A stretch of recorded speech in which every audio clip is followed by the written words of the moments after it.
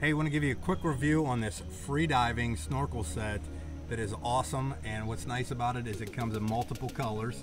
Uh, I've got the all black, I've got white, and I've got green. Uh, the cool part is, is this is actually something you can professionally use. It's got an anti-fog lens, which is really good.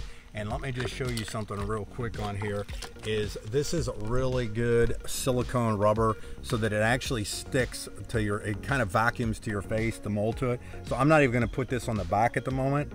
And all I gotta do is push this up, lock it, you know, if I breathe in with my nose, there's no air coming through there. That's a good vacuum seal, which obviously you want. The other thing too is, I don't know if you can see this, should be able to see this right here, is it actually has a mount for GoPro. So if you wanted to take your GoPro with you and get some really cool um, underwater features and get them recorded is awesome.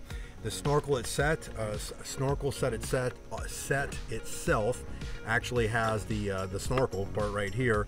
What's nice about this is check this out. It's flexible so it actually folds up and goes inside here so that you can kind of keep keep it together. And you can either put it like this uh, or you can actually have this secured onto something with a little latch which is kind of nice.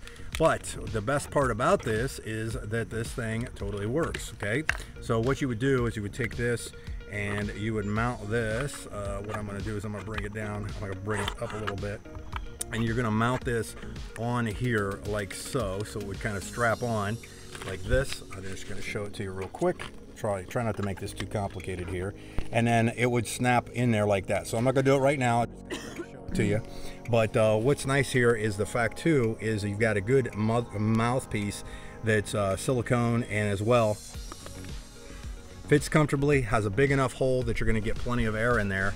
But uh, best part is when this thing when you go under the water with this thing as I go down and come up there's not going to be hardly any water inside it. No water inside whatsoever and this is good. It's a good good tight seal um, but if you're looking for some these these are fantastic. Again I got the multiple colors along with this. And I like to practice in the pool before I go out there into the big surf uh, playing with these things. But uh, if you're looking for one uh, pick it up. You're gonna absolutely love it